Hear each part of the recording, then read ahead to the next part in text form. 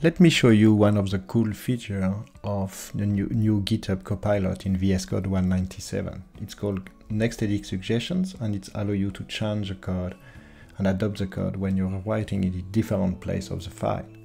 In my method, you see I have hard-coded a string. Let's say that I want to replace that with a parameter.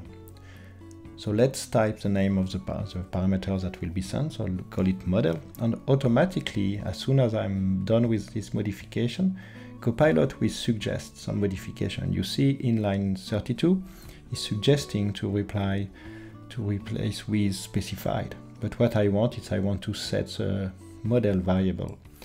So I will just start to type dollar as a literal dollar model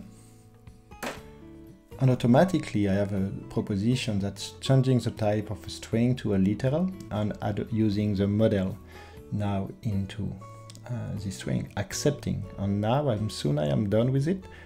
Uh, Copilot next edit suggestion is allowing me or proposing me a change in the Java doc or the JS doc uh, for the model and as soon as I accept adding a new parameter to the function but what I want is I want to use a default value for the parameter. So I do not accept the parameter, type the new value for the model. And as you can see, the, spring, the parameter is added to the function with a default value.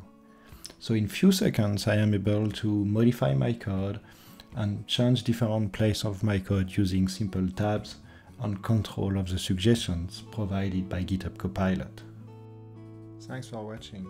I invite you to test next edit suggestion on your projects.